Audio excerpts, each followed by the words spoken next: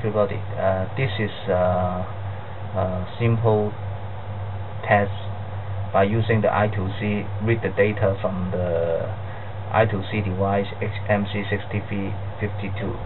Uh, this is a digital compass.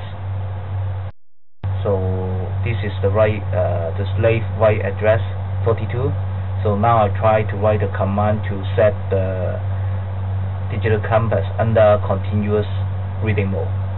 So this command 47 is uh, read the data from the RAM. The RAM data, once the digital compass power up, the factory default 50 will be transferred from the EEPROM to this uh, to the RAM address uh, 47 uh, 74 hexadecimal. Here is the address. So we'll write the command 52. Uh, this is the continuous mode command um, to the digital compass. So now you can see this is the 52. Uh, we'll, this data firstly will transfer to the data register and then we'll, will through the I2C wire to the appropriate device. Right now our device is the digital compass HMC6352. So now you can see the write command operation was completed then the stop signal will be sent. So now we are going to read the data.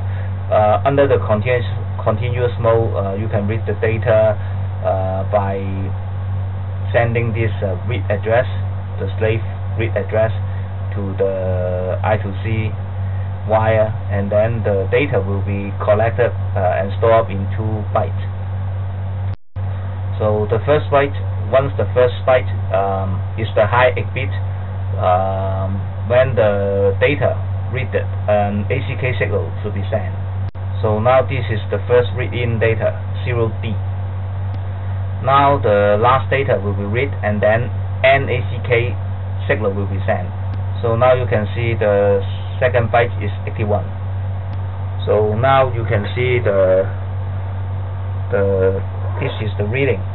The heading 340 uh, if the direction of the this end point to the right left side, the the reading should be 359.9 something like that.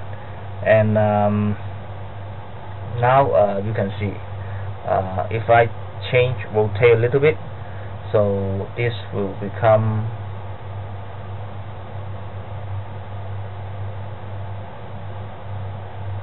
yeah, this correct.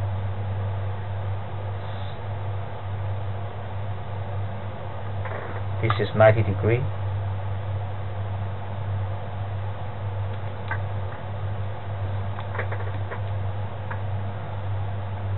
of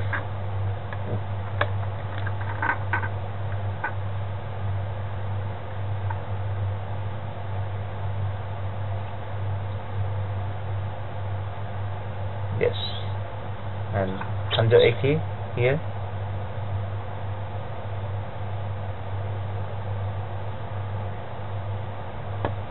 And 270